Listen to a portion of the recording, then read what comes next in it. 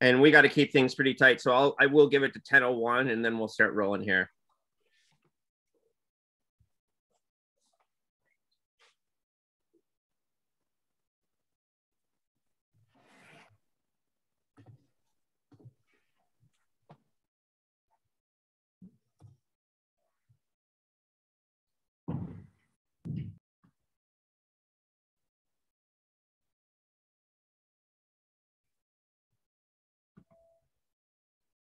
Hi, everybody. My name is Lee Vinsel. I'm a professor at Virginia Tech. Welcome to Saturday Panel 7, The Importance of Military Infrastructure, Temporary, Permanent, and In Between. Um, we're going to kick right into the papers, starting off with Eric. I do want to say we're asking um, if you could, if you do have comments and questions throughout the talks, if you could put them in the Zoom chat, we would really appreciate it. We're going to run through the four papers uh, and then um, go over to Angela for some brief commentary and then go to Q&A. So Eric, please start us off and introduce yourself as you do. Hi, good morning, everyone. Thank you for coming. I'm Eric Perinovic. I'm a doctoral candidate at Temple University. Um, I was previously a Guggenheim Fellow at Air and Space with Dr. Larry Burke as my advisor. Uh, prior to that, I was a, a Fulbright recipient, um, and I am currently an adjunct researcher at the RAND Corporation. So I'm going to kick us off this morning, and I'm going to try to do the share screen thing. Zoom's still not my favorite thing in the world. All right, everybody see that? Okay, great. So my paper this morning, as you can see, is um, entitled Practicality by Ambition, West Germany Military Aviation Infrastructure in the F-104 Starfighter Crisis of 1960-66. So at the time of its acquisition by the Federal Republic of Germany in 1960, the Lockheed F-104 starfighter was touted as a technological marvel that met a broad spectrum of neophyte Luftwaffe strategic needs. However, by 1966, it found itself mired in scandal as it struggled to safely operate the aircraft. In the first six years of operations, it suffered 34 fatalities and 67 lost aircraft flight accidents and equipment failures. In reaction, the public and the press continually excoriated the government's ineptitude in preventing the untimely deaths, while flying a plane previously touted as a panacea solution to a broad spectrum of strategic concerns. In early 1966, Luftwaffe's leadership was replaced and the starfighter fleet was grounded for several months until a full spectrum of reforms could be instituted to bring the crisis to an end. This move had been avoided by prior leadership as the starfighter represented a large portion of the Luftwaffe's nuclear strike potential, and its removal from service effectively nullified NATO's largest European air force. However, after several months of intense reform, the starfighter returned to service and the loss rate dropped appreciably over the following months and years. However, an issue that needed to be overcome was one that dogged the Bundeswehr and Luftwaffe from the outset. And the Luftwaffe from the outset, the, its inability to safely operate due to an absence of needed infrastructure. This work focuses on the safety and maintenance infrastructure shortcomings, physical, logistical, and human, that directly influence this high accident rate. Within the primary sources, the adequate training or lack of pilots to operate their own aircraft in the adverse climate of Northern Europe, as well as issues with the aircraft's license manufacture, often prevails the highest profile rationales behind the checkered safety record.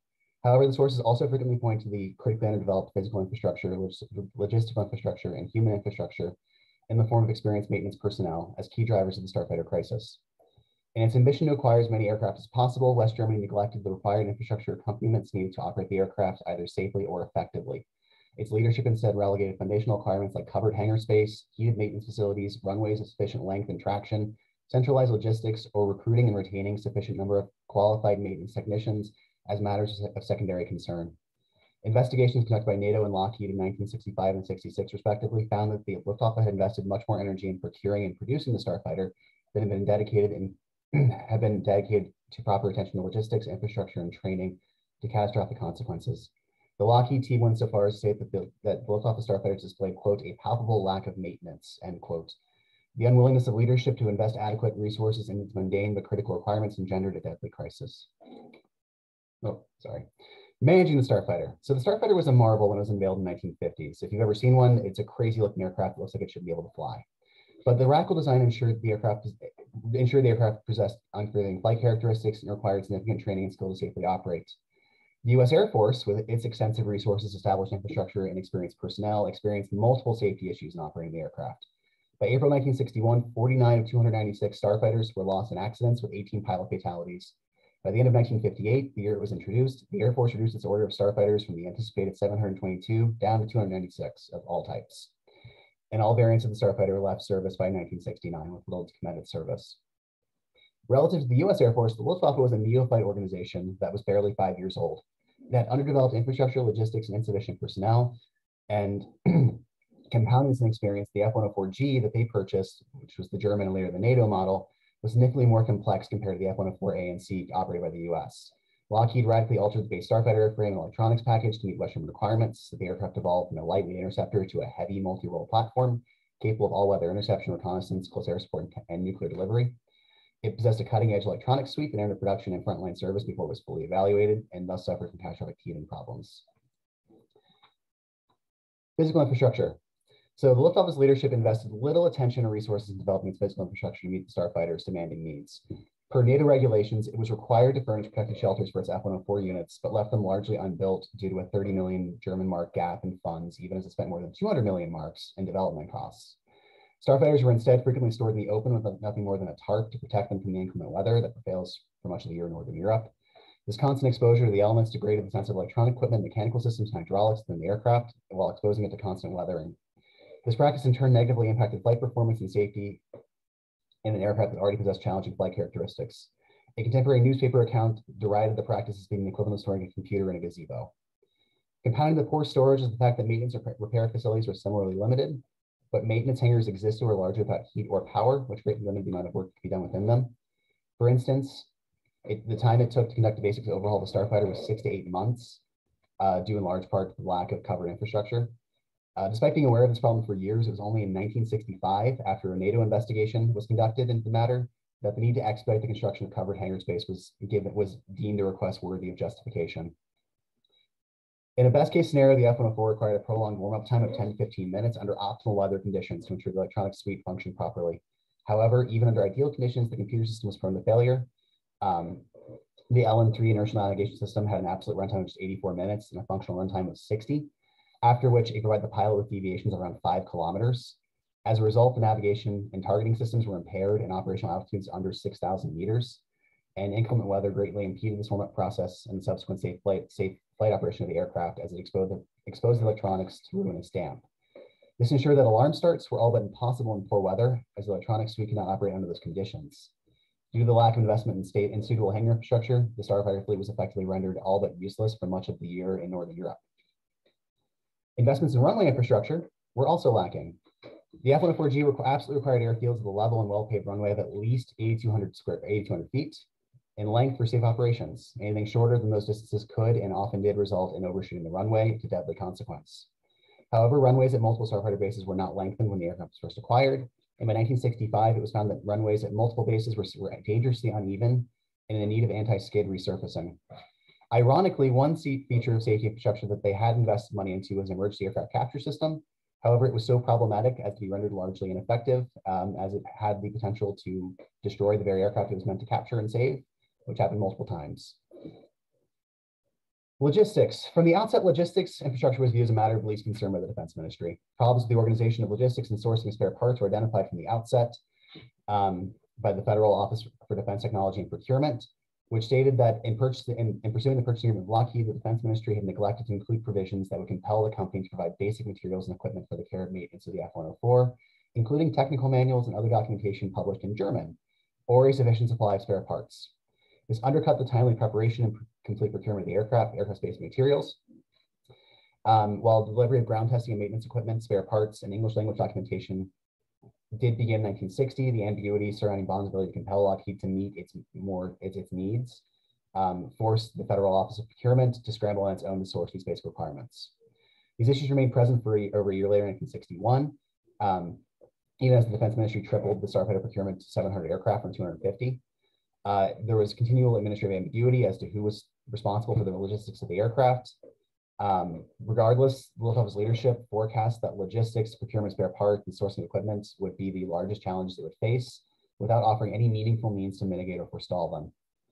Um, in 1962, uh, the Luftwaffe even even siphoned away some of its ground testing and equipment and spare parts to West German industry to facilitate the faster production of starfighters, which was known, which they, they knew at the time would cause major issues, but again offered no mitigation strategy the same NATO investigation in 1965 lambasted the organization of logistics as woefully unprepared for the rigors of operating Starfighter and identified a general shortage of maintenance and testing equipment needed to safely operate the aircraft, as well as a general dearth of spare parts.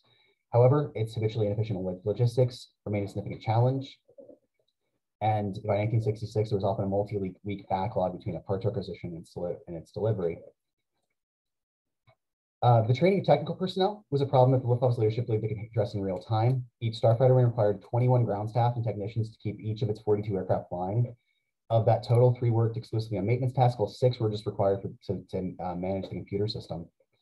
Due to the production and deployment timeline, the Air Force was compelled to, was compelled to conduct abbreviated three-month training courses for enlisted technical personnel, which left no margin for error as the units simultaneously transitioned to the starfighter as the training was conducted. Um, compounding this, most of the maintenance fell on the shoulders of short-term conscripts who initially were just serving a 12-month service term, but eventually that was up to 18 months.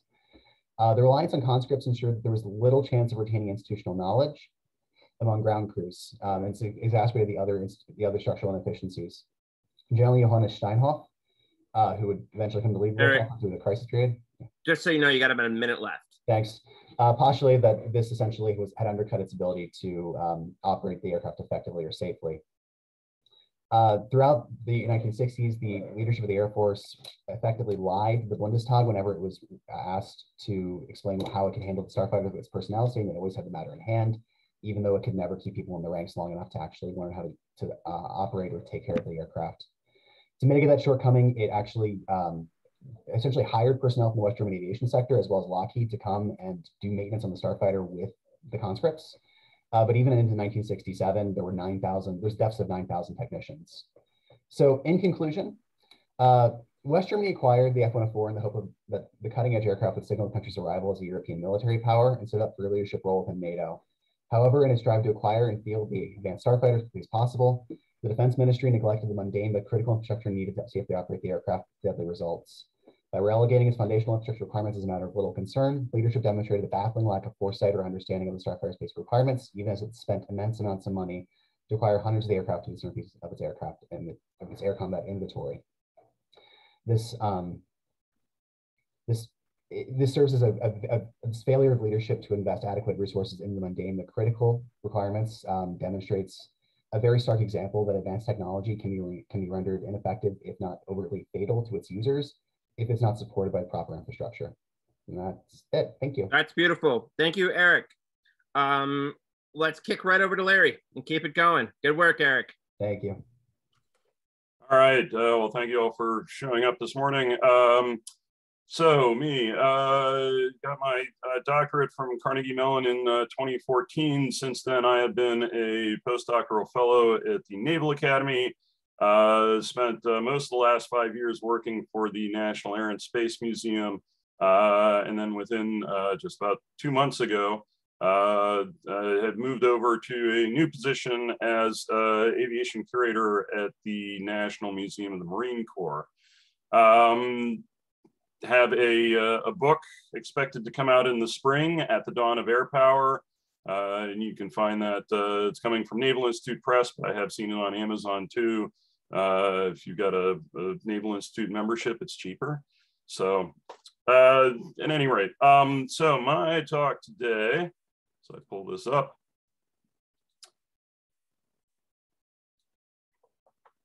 All right, uh, speaking about a, a, floating city, the aircraft carrier is mobile infrastructure.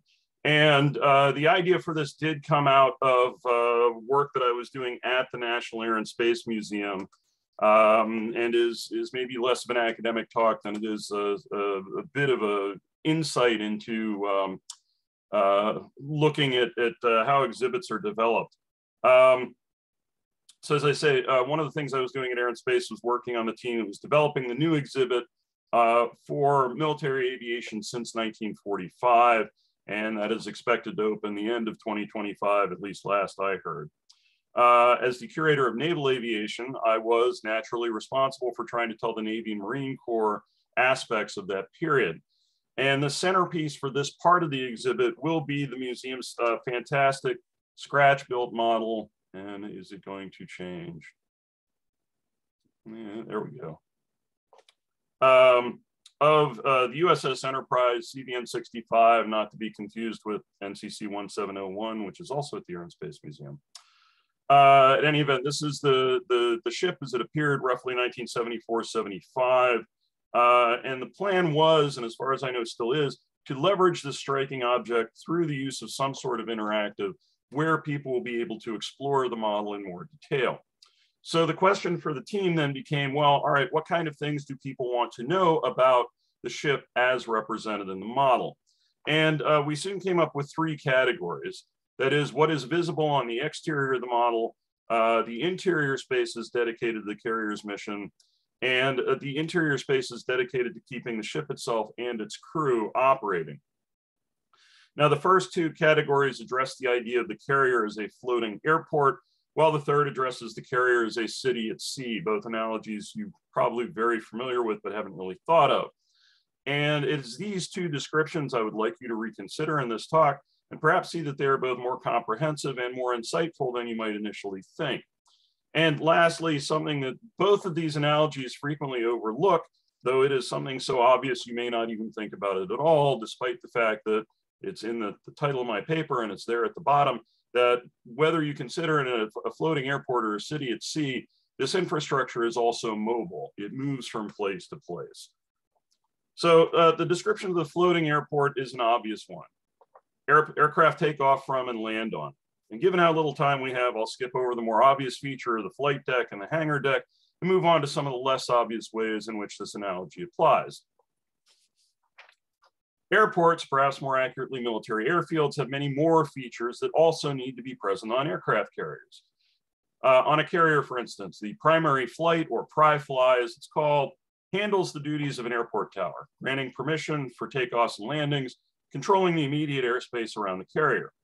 Broader airspace control, equivalent to a civil area control center, is done by the appropriately named Carrier Air Traffic Control Center, CATCC, buried within the hull.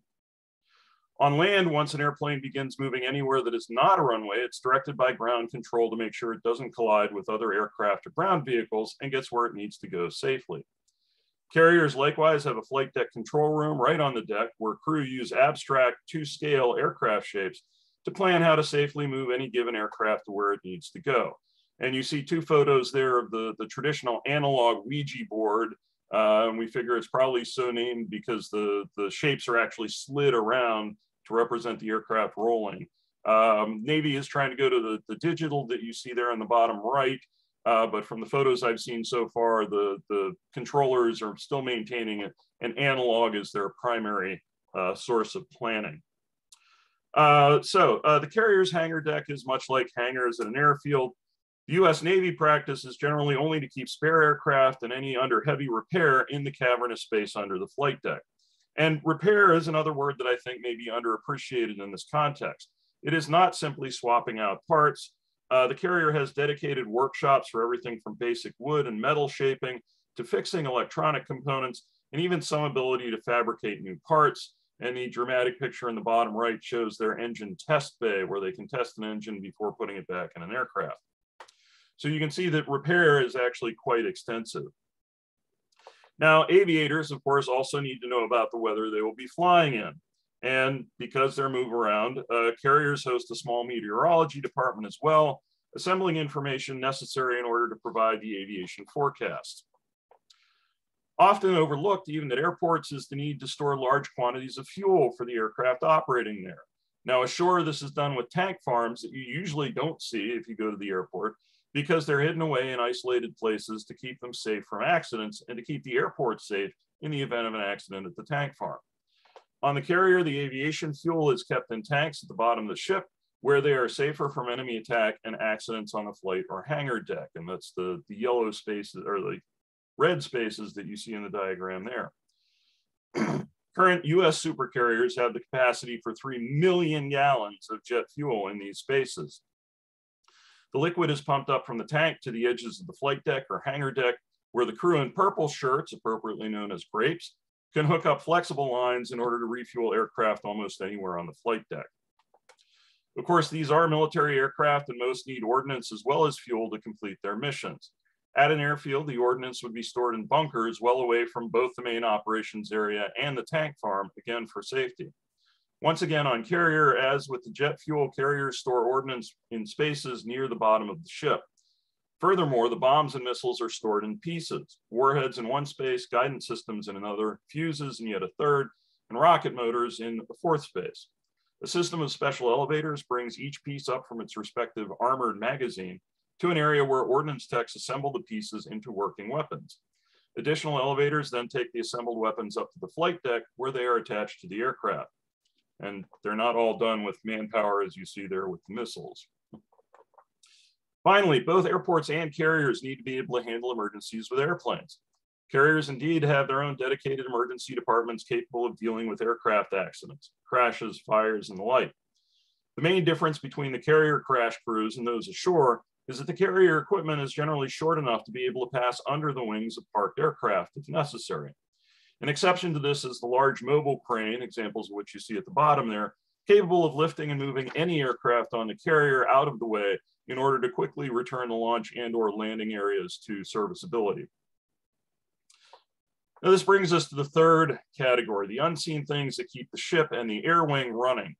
The analogy of the floating city is often pulled out in connection with the fact that they all need someplace to eat, sleep, and do their jobs. Now, of that 6,000 to 6,500, only about 12 to 1,500 of these are associated with operating, or the vast majority of them maintaining the aircraft. They're associated with the air wing and transfer on and off with the aircraft. That leaves 5,000 or so permanently attached to the carrier who keep the ship operating as a ship.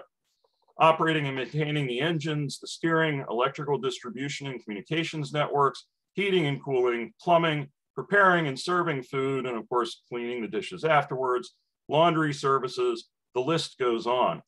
This city must supply utilities and other hotel services to its airport as well as its own people. Now, while some jobs on a carrier may be the same as on any other Navy ship, the scale of the job on the carrier is much different.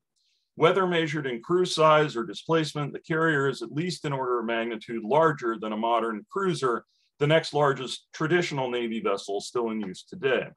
In fact, one of the things about carriers is that their hulls are designed to be large enough to float while carrying the air wing and all its supplies, as well as providing the necessary acreage to operate the aircraft. The result is that the space inside the hull is at less of a premium than in smaller vessels with much smaller float, uh, floating capacities.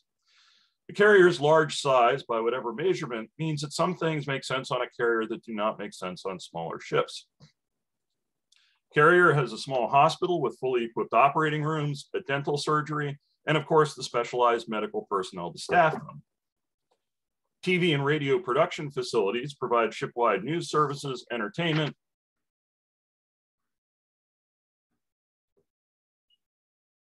Larry, you just muted yourself, I think, bud. Uh, yeah. Uh, where where did I leave off? Uh, entertainment, and you have about a minute left. Yep, I'm good. Uh, okay, TV and radio production facilities provide shipwide news services, entertainment, even crewmate educational programs. A dedicated chapel space, uh, and many carriers have even carved out room for a museum dedicated to a history of the ship's namesake. Now, time prevents me from delving any further into the many ways in which these analogies are more apt than you may think. And indeed, this was one of the problems we quickly encountered in planning for the exhibit. The interactive could probably only address one, maybe two of these categories without being too complicated and or overwhelming visitors. So what would our visitors most want to learn about? Well, when I left the Air and Space Museum, this was still under discussion, and unfortunately, our public testing had not revealed any clear winners and losers in this case. And while I am disappointed that I'm no longer helping to see this exhibit develop through to its opening, uh, on the other hand, it means I no longer have to make the difficult decision of which information visitors will be presented with, unlike trying to get this talk into a mere 10 minutes. And that's me. Beautiful. Thank you, Larry. Very good work.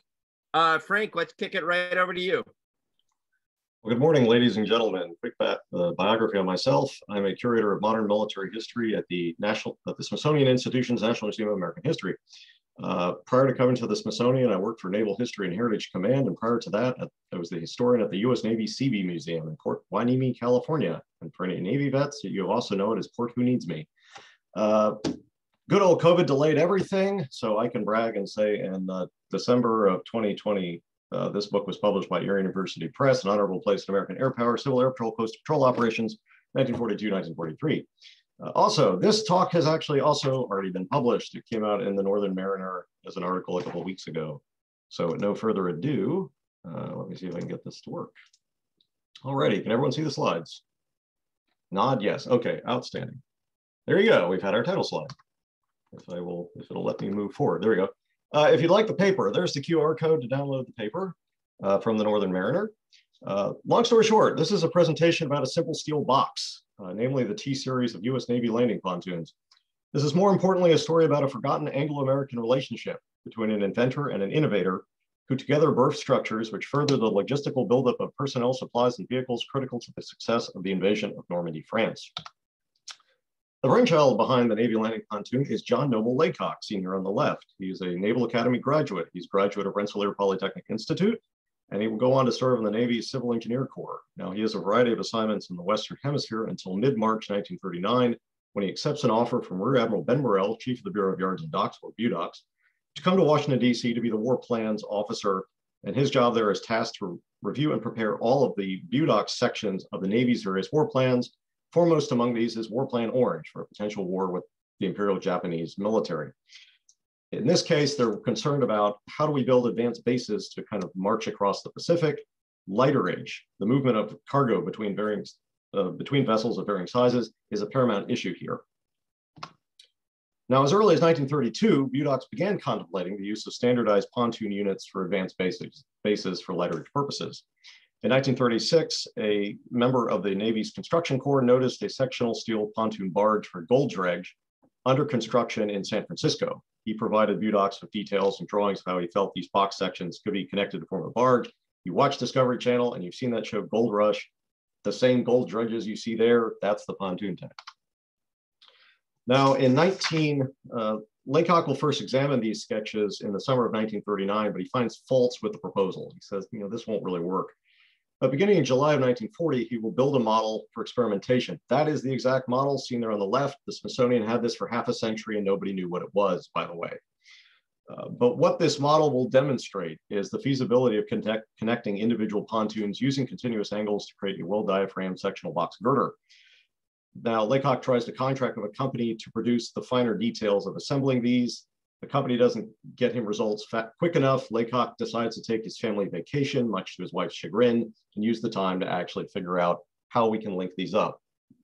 Long story short, he basically takes this model, scales it up into steel. Now, there are seven criteria which would factor into the final dimension of the pontoon. You can see them here on the left. Uh, by February of 1941, BUDOCS enters in a contract with the Pittsburgh Des Moines Steel Company to fabricate the pontoon units for testing and evaluation. Two designs will be constructed, the five by seven by five foot T6 steel box, which you can see there on the right, and the five by seven by seven T7, and that has a curved section on one end for use as the prow and barges.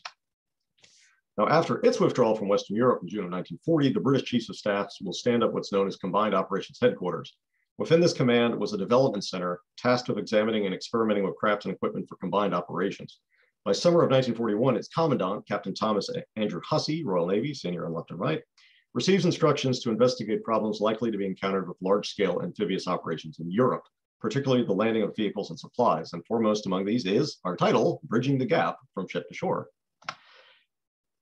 From November to December of 41, Hussey will lead an Admiralty delegation to Washington to share and discuss designs for three amphibious assault craft. And while he's there, in the week prior to the attack on Pearl Harbor, he visits Narragansett Bay, Rhode Island. And this is when he will first learn about BUDOCS's new pontoons. Hussey went, goes, wow, this is great tech. We can use this for amphibious operations. Tells combined op, uh, operations about it. They go, that's great. And they do nothing. But after the successful Allied landings in North Africa, Operation Torch, in November of 42, Hussey, who is now the director of experiments and staff requirements, learns about the next target, which is going to be Sicily, Operation Husky. He examines sounding charts of the island, particularly the invasion beach areas, and goes, we have a problem. You have gently sloping seafloors, and the landing ship's tanks, or LSTs, have a bad tendency to ground out in these very shallow beaches uh, about 500 feet from the shoreline. Now you can waterproof a vehicle, it can ford through three feet of water, but it can't ford through more than that. And so basically your vehicles are gonna be stranded about 300 feet from the beach. How do you solve the problem? Hussey's alarmed. He brings the issue before the chief of combined operations at Vice Admiral Louis Mountbatten, who recommends he assemble a team of technical experts. They meet in December of 42, but the only thing they're aware of is the US Army's Treadway Bridge, seen here uh, which they had used in the torch landings. However, you read at the bottom, there's some problems with these. Uh, they, they're just not reliable for the task at hand. So Hussey comes up with a solution. He remembers the American pontoons and says, what if you build a floating roadway with these? Can't you not tow them to the beaches, place them in front of the LSTs, and they'll provide a nice means to drive the vehicles right on the beach? Mountbatten goes, brilliant, love it, make it possible, go do it. But when Hussey arrives in Washington on March 443, he discovers the US Navy has no idea who he is or what he's doing. Thankfully, he finds Laycock. And together they, fig- they sit down, they explain the problem. Hussey wants a 350 foot long pontoon barge. Laycock says we can't do this in the time we have allotted, but instead he designs what you see here at the bottom in model scale, these 175 foot long two by 30 pontoon causeways. You take two of these and you overlap them like a slide rule. You can place them in front of an LST, get a maximum length of 325 feet, and thus bridge the gap. On March 18th, uh, they will hold the trials in Narragansett Bay. So you can see your lightning fast development here. Uh, the causeway, essentially when they get it in front of the LST, you can do this in eight minutes and actually get vehicles driving ashore in eight minutes. They try the Army's Treadway Bridge, it takes 45 minutes. The planners say, go with the pontoons. And so on July 10th, 43, when Husky commences, 10 LSTs are actually going to side carry the causeways to the side of the vessels. Six are going to tow them. Within 23 days, around the clock shifts, they're able to get 10,000 vehicles ashore using this technology. The following month, in Quebec, the Allied leaders will approve a plan for the invasion of Normandy. This is known as Overlord, and its naval component is Neptune. Now, they recognize the need for port facilities, but Cherbourg is heavily fortified. They've tried this before at Dieppe, didn't work. So they say, let's just bring our own harbors with us. And these are known as the Mulberry Harbor. One will be positioned Mulberry A off Omaha Bay Beach at Saint Laurent sur Mer. The other Mulberry B will be placed off British Gold Beach at Arromanches.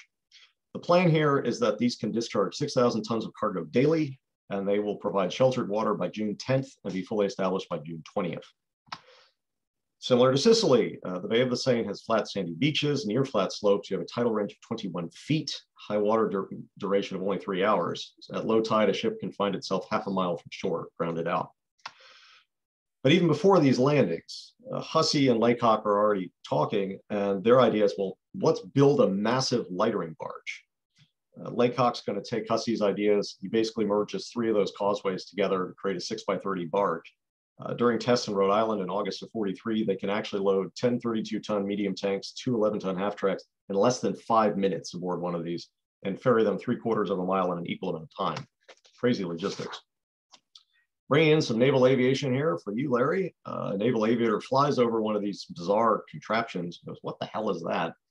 Sorry, kids. And thinks it looks like a rhinoceros. And this is how these become known as rhino ferries. And if you look here at the bottom of the sketch, you can see it has kind of a horn there.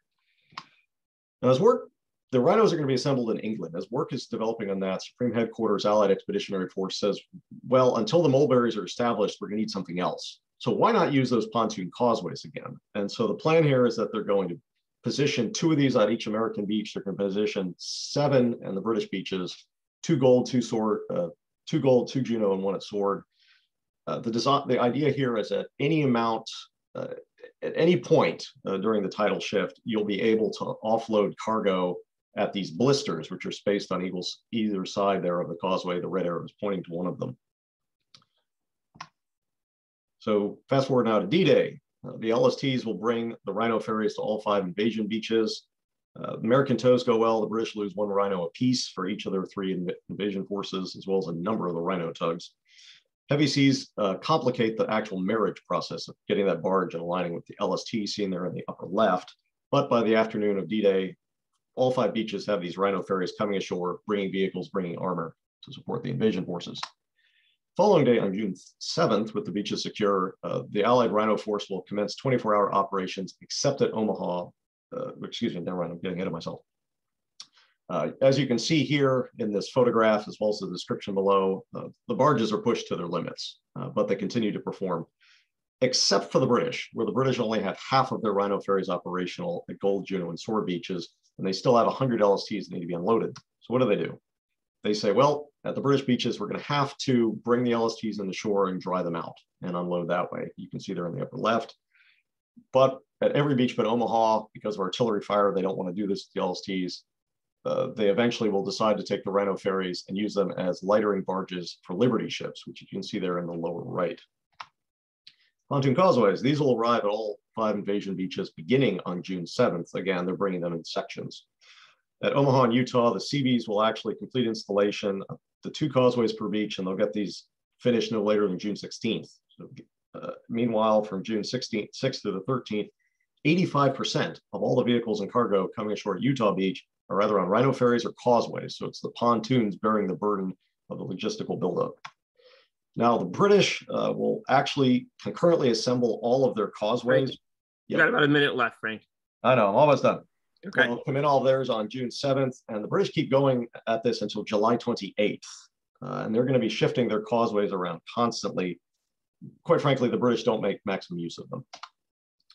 While the causeways are coming on, on board, the mulberries are rapidly being assembled. Uh, Mulberry A will be first operational on June 16th. Mulberry B doesn't even reach its target figure for 6,000 tons until July 9th.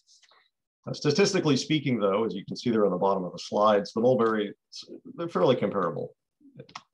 So how do we evaluate these? Uh, it's very difficult. I put the statistical data there at the bottom. Uh, bottom line is the American rhinos average more daily tonnage than the targets for the mulberry harbors themselves at considerably cheaper cost. The after action reports, the rhinos are all going to receive high marks, uh, low marks for the primary role, but eventually people say they make fantastic lighter barges. Pontoon causeways get all the praise. People go, this is fantastic technology. These are brilliant. By the way, they'll use them now in every amphibious operation in Europe and the Pacific thereafter. Big problem is the British don't have experience with the American technology. They assign them to British Army personnel, whereas the United States Navy, Seabees, are who man all the pontoon causeways and rhino barges. But all the shortcomings aside here, these provide the Allied forces with a valuable resource in the logistical buildup vital for Overlord success. And the development of the causeway and in turn the Rhino ferry would never have occurred had you not had two kind of middle managers here in Laycock and in Hussey. And Laycock's developing these things for use in the Pacific. He's not thinking of amphibious operations. Hussey needs to find a solution. By working together, they're going to develop these structures that will serve amphibious operations, not only there in Europe, but to this point in time, we still have this technology. These are really an unsung hero in the invasion of Operation, Overlord. And I hope you enjoy reading the longer paper. And I hope I got this in under 10 minutes. Thank you. Thanks, all. Frank. That was great. Uh, we're going to hand it right over to Jack and then to Angela. Hi, everybody. Um, I'm just going to share my screen. Can everybody see that? You're in presenter view uh, or edit view, actually. So you need to press uh, present. Yep. Yep, here we go. There you go. I'm just going to try and get this in the corner so you guys can see it. Um, so my paper is called Before Paperclip, the American Campaign to Acquire German Military Technology, 1919 to 1935. Um, from the title slide here, uh, you can see um, this is like a little shot from a movie. Even if you are not familiar with exactly what Operation Paperclip is, you are familiar with the fact that the United States recruited Nazi scientists after the Second World War. Um, it's ubiquitous in culture, whether you've seen the X Files, whether you're a QAnoner, or whether you're a fan of Marvel movies. And this shot right here that you see is actually from the Marvel movie Captain America and the Winter Soldier. Um, but before Paperclip, in the aftermath of World War I, there was another military campaign to acquire German military technology. Um, and I got uh, down into that rabbit hole through this letter that you see right here. So this is a letter from FDR to a friend of his by the name of Charles Fairweather. Fairweather had written to him on behalf of a company he was friends with the CEO of. The company was called the Bausch and Lomb Optical Company. They were a supplier for the Navy. And um, the Justice Department had indicted them based on an agreement that they had with another German firm called Carl Zeiss AG.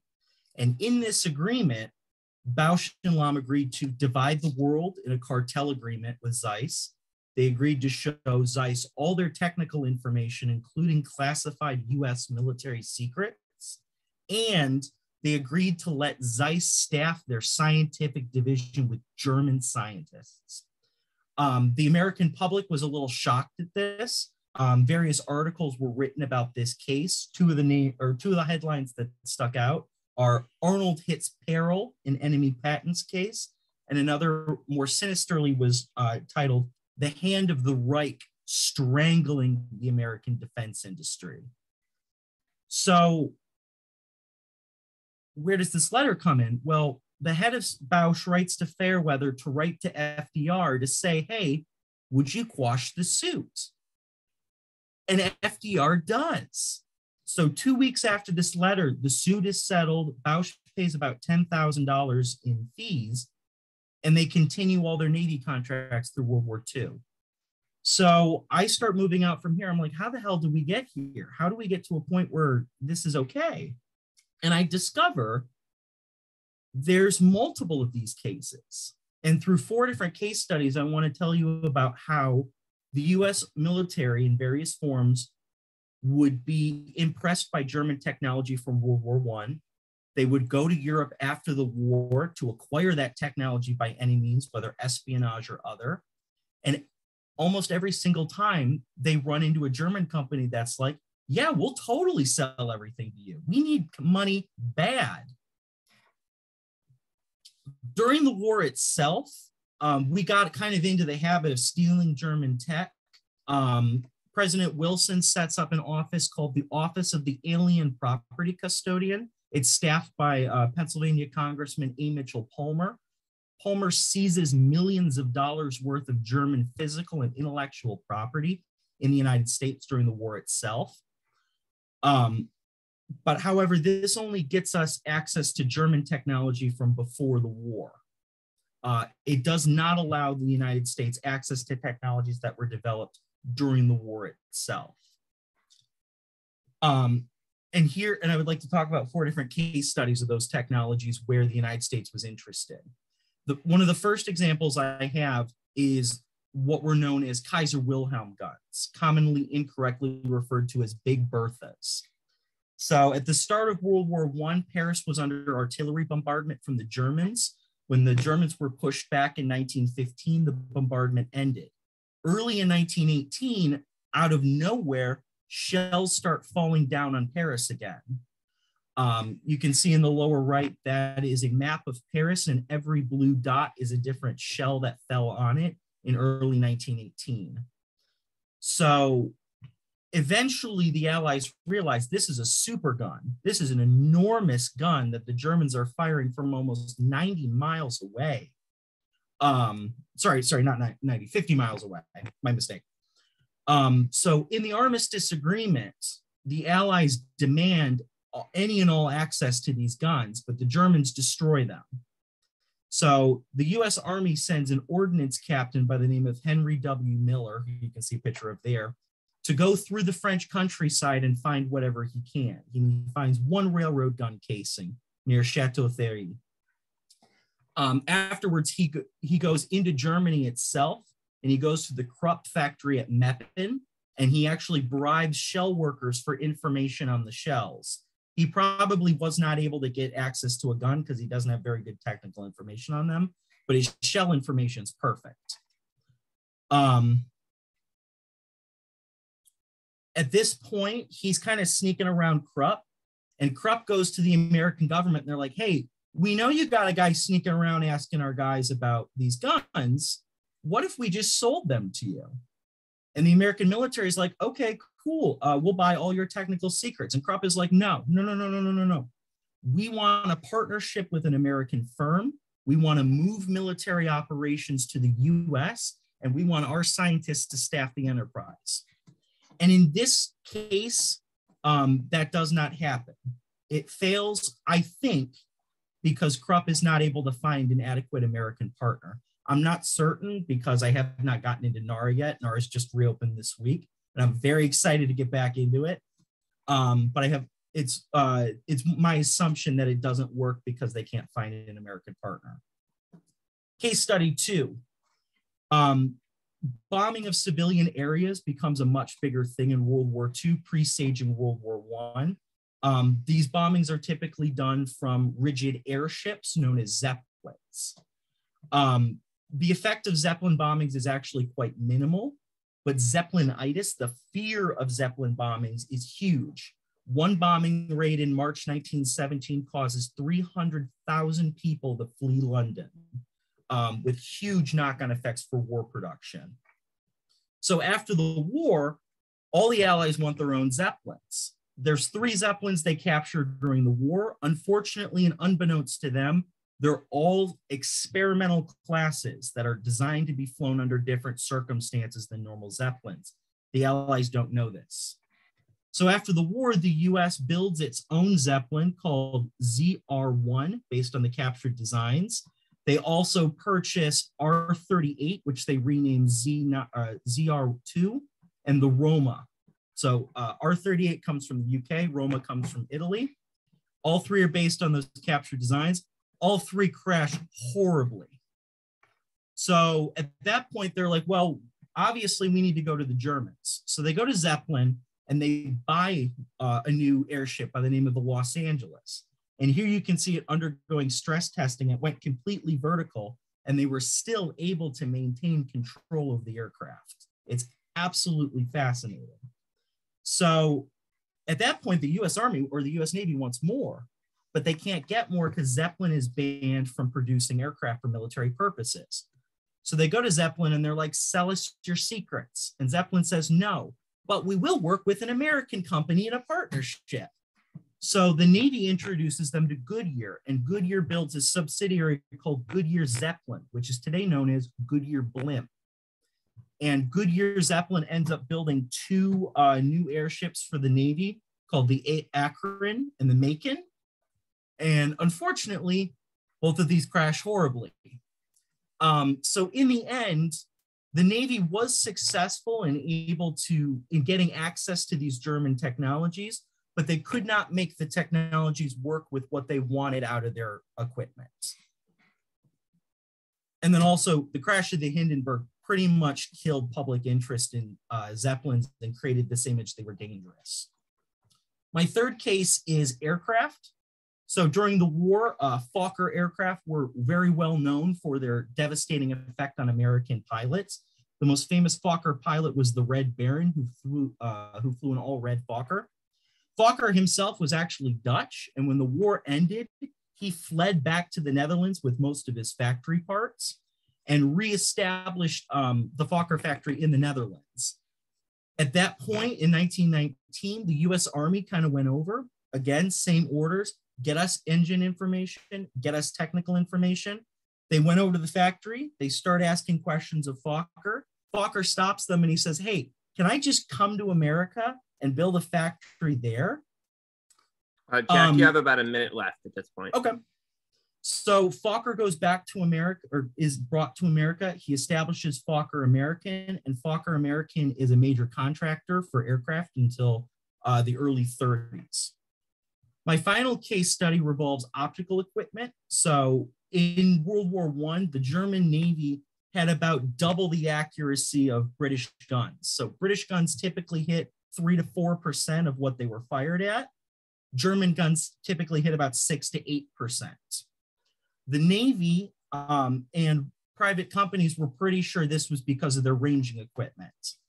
So again, after the war, um, the main American optical supplier, Bausch and Lomb, goes to the main German firm, Carl Zeiss, on the orders of the Navy. The Navy tells them, get these technical secrets. And when Bausch gets there, Zeiss is like, we'll work with you in a new renewed partnership. um, so they made this whole agreement wherein Zeiss could staff the Bausch division. Um, Bausch would share all its patents and Zeiss would share all its patents and together they would produce these instruments for the Navy. Um, and it ends up being quite a success. They're able to adapt a bunch of different things, and it's so successful that FDR kills that suit against Zeiss. So how do we get back here? It's become a piece of military infrastructure. Um, sorry, that was a little bit of a. I had to do it a little quick, but um, th that's my presentation. Thank you. Thanks, Jack. Good work. Uh, Angela, we'll go over to you now. Hi, wonderful. Thank you everybody for being here and thank you so much for these excellent papers. Uh, so to make it a tie to Jack's paper, so my PhD is actually from the University of Akron and we used to take our dogs to the Goodyear Park to run around the lake. So that's our little connection here. Um, so formerly I was a part of the Army University Press Films team that would make films to teach history and doctrine for the US Army. And now I'm a professor at the US Army Command and General Staff College at Fort Leavenworth, teaching military history. So, again, these are excellent papers. I'm just going to go in order, very brief comments, so then we can get to questions from our attendees. So, first with Eric. Eric provides an excellent discussion of the star. Hey, Jack, can you unshare just so Oh. um we, Oh, we sorry, see Angela? no, there we go. Go ahead, Sorry, Angela. Don. You guys are like making me laugh because I just saw like alien ships or something and I was like into it. Um, so yeah, Eric provides an incredible overview of the starfighter fleet um, in Germany in the 1960s and the myriad of issues that plagued the fleet. Um, and I have some questions about actually the reform because it seems that the main theme that connects all these papers is what forces change, what forces reform, and the need for innovation. So, is that technological demands? Is it leadership? Is it readiness concerns? And also, another major theme that connects all these papers is the human element. So, the human infrastructure, if you will, that may fuel change or inspire change. So, for Eric, my question is what limited the acceptance of these re- reforms? You say in one section that maybe the leadership um, did not realize the extent of the issues, but I want to know if they are actually they don't realize it or they refuse to realize it. They refuse to acknowledge it because it's, as you say, less glamorous, like less sexy. No one wants to talk about infrastructure when you have a starfighter fleet. Um, and then once they do realize it, what forces the change? Is it the operational readiness, public outrage over the deaths, the NATO investigation? Um, and it seems that the main takeaway is it's another element of the human infrastructure, and that is the leadership infrastructure. So maybe it's not just the personnel for the training or the maintenance or the logistics. Leadership itself can be a key part of that infrastructure discussion because it seems that it was the leadership infrastructure that needed the rehaul, not just the hangars and the other um, parts of the infrastructure. And then moving on to Larry. So Larry does an excellent job boiling down the aircraft carrier's massiveness and the extensive interior. Some of those that model and those images were just fabulous. And it's we always knew that carriers were huge. Um, but Larry does an excellent point of pointing out that like the very basic realization that these things are mobile, right? They float, they move. How cool is that? Um, so sometimes even taking the time to realize the most obvious encourages you to ask the most enlightening of questions. So for me, I know you're no longer at um, the Air and Space Museum, but one of the questions I ask is how do you fit all of this infrastructure, the technology, and then the people in a floating city that still is able to maneuver in combat? So, what are the changes they had to make that makes it actually a piece of military infrastructure, not just basic aircraft carrier? Um, who's next? Oh, Frank. So I had the advantage of actually reading this even before it was published. So I love this. I feel like I know this topic. I have a soft spot for these rhinos now. Um, so Frank dives deep into the development, trials, and success of the landing pontoons and the rhino barges, um, and especially the role of Laycock and Hussey. And you especially focus on the human element as part of this development and these these innovations. And my question is once operations are complete so once overlord overlord and neptune are complete what do hussey and laycock do? What are their continuing roles as part of the war effort? Is it maintenance training or further development? Right? And then for jack jack where are your comments i have stuff everywhere yes so Jack discusses the US military officials um, and how they work with private corporations to access or purchase German military technology um, in the interwar period. And since this is part of your, dis- uh, your dissertation, I asked some questions for you to consider. So, one of the things might be seem a little more controversial, but can US military officials and corporations be judged for possibly bankrolling? Um, German militarism in the interwar period, leading to leading to World War II. Um, it seems like we gave them a lot of money uh, to increase their military. Um, why is the U.S. getting advancements from the losers of World War One? Why do they seem that they are so advanced that, that we need their technology? And can you make any connections to before the war borrowing um, and sharing of technology as part of the before the Great War arms race?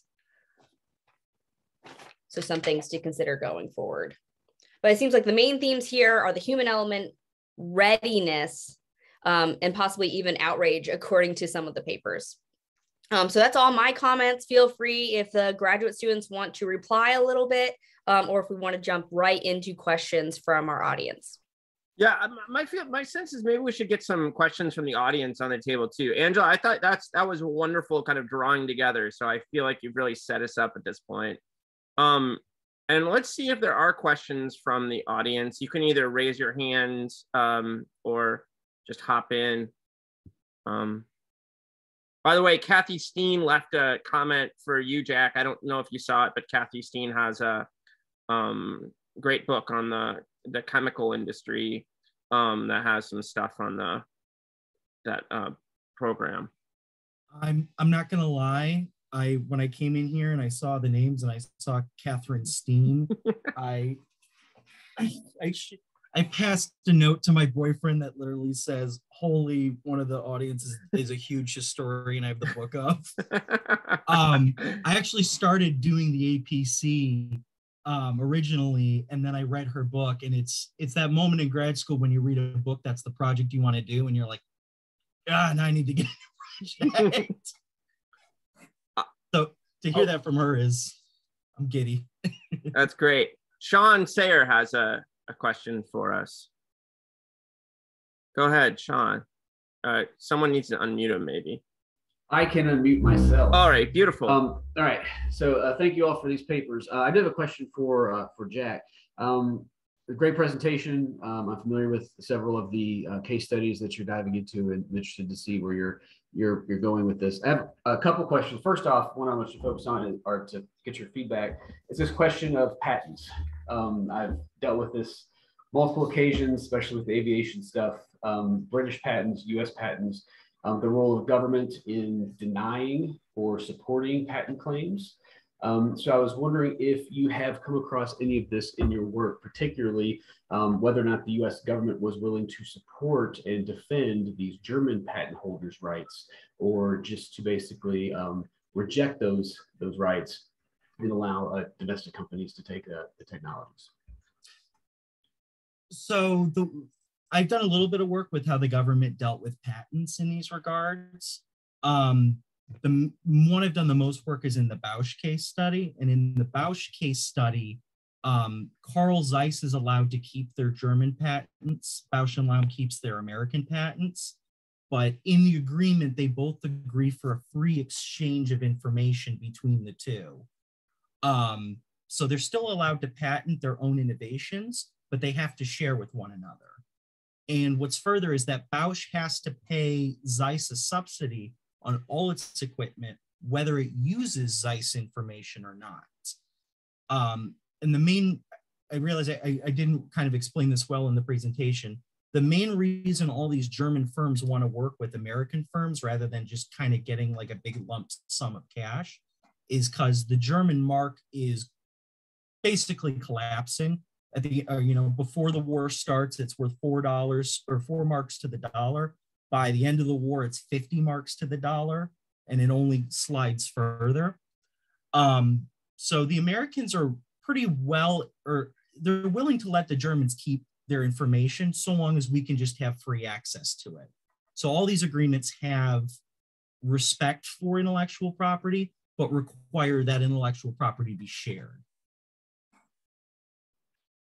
Great. Um, I do. We do have the ability to go over by ten minutes for Q and A. I forgot to mention that earlier, but I was banking on it, and it was the only thing keeping me from having a time panic attack uh, during during the presentation. So, um, uh, Eric, I was wondering if you wanted to respond to Angela, um, and then Mike, if if Mike is going to stick around, uh, he has a question for Jack. Yeah, thanks. I'm happy to.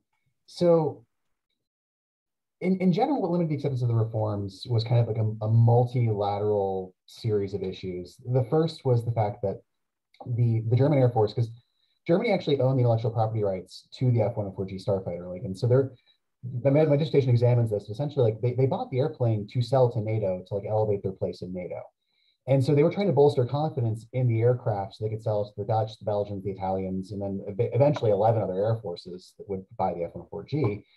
And so they had, they, they tried to fix everything in real time. They had a series of high level F-104 like working groups that reported directly to like the commanding general of the Air Force. And you know, they would just like a new crisis would come up and they'd say, okay, we got to fix this. And then they would just put that on the pile with the other ones. It's like nothing ever really got fixed.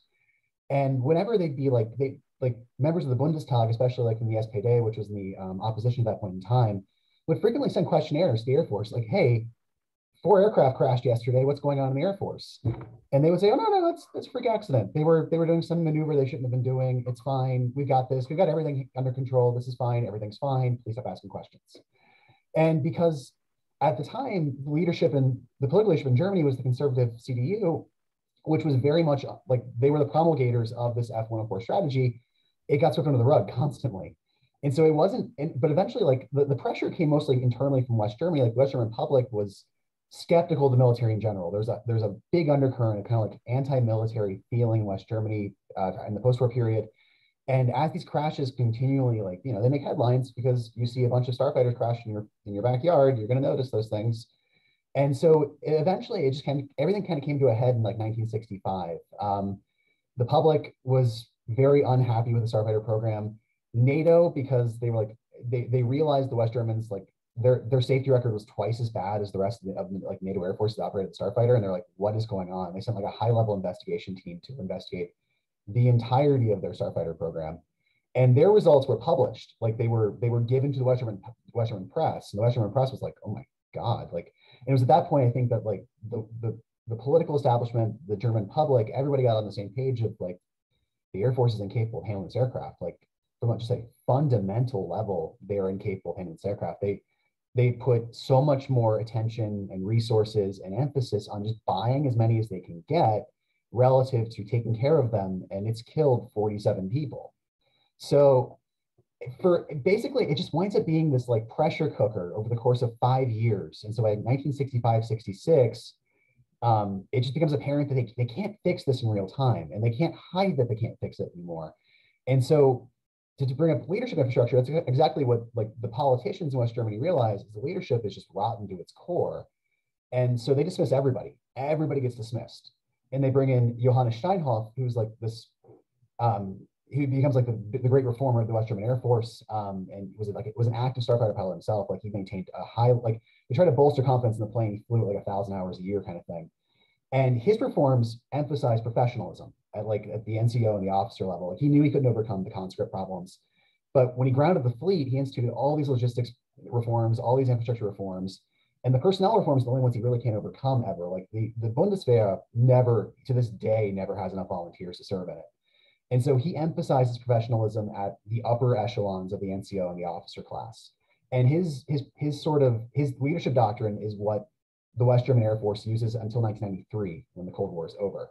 So like there is a big infrastructure infrastructure fix at the leadership level as well that also like you know goes on for decades. Great. We have a couple more minutes for questions. And again, if you're in the audience and you could do your little hand, uh, what are these things called? Reaction. If you have a question. Um, uh, Mike Hankins has a, a question. Mike, do you want to? Um, yeah, there's Mike. Hello. Go for it, Mike. Uh, good morning. Thanks, everybody. Uh, what a great panel. Uh, this is awesome. It's great to see some of you again uh, that I haven't seen in a while. Uh, this is a question for Jack, and this is this might be a little bit beyond the scope of what you were looking at. I'm just curious. Um, you know, something that is I've come across a lot is this post World War II influence. Obviously, there's the technology. Uh, you know, everybody's scrambling to get the Nazi tech, but there's also this kind of cultural doctrinal influence like people are just within the US Army and Air Force, especially, there's this kind of cult of the, you know, we're kind of interested in the Wehrmacht and some folks are, I would say, go as far as to be obsessed with it and they, they want to, you know, try to copy the doctrine. For some reason, it has a very powerful influence, and that's been pretty well studied. But have you found that type of thing for World War One? Is there like that type of cultural influence and people, you know, looking at the German military of World War One as some sort of inspirational thing? Yes. Uh, the short answer is yes.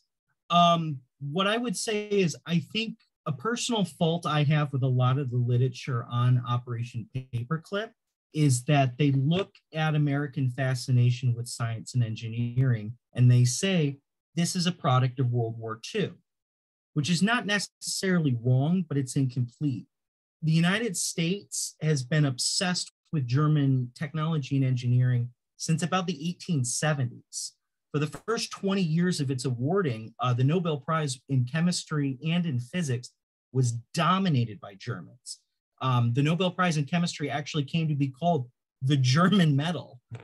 Um, so you do have this interest from the war itself, uh, hooked into this longer running interest in German science. But in World War One, um, and to kind of go to Angela's um, comment about why the losers, even though they lost, there's this perception that like they gave one hell of a fight that there were multiple instances when the Germans should not have been like holding ground, and they were. So in 1917, the Allied were the Allies were fielding twice as many planes as the Germans, but the Germans were killing three times as many British pilots as their own. Um, you look at Jutland, where the entire Royal Navy was lying in wait for the German Navy. They had no idea. And not only was the German Navy not destroyed, but they inflicted disproportionate attrition upon the Royal Navy. Um, so even though they lose, there's this sense of, holy crap, where the hell did that come from? um, and that's part of what, along with this longer running interest, what fuels this intense interest in we got to get our hands on this stuff. Cool, thank you. Well, maybe we should hang it up there. I think if we do another round of Q and A, uh, we'll probably run over time, and I think we should try not to do that. So, thank you all. This was a, a wonderful, uh, you know, infrastructure makes my heart warm, and this was a great little uh, panel. Thanks for putting it together, Larry and Angela. Thanks for, um, you know, thanks for commenting, and thanks guys for uh, these great papers. Everyone have a good day, and hopefully I'll see you at another panel. Thank you, everybody. Have a good day.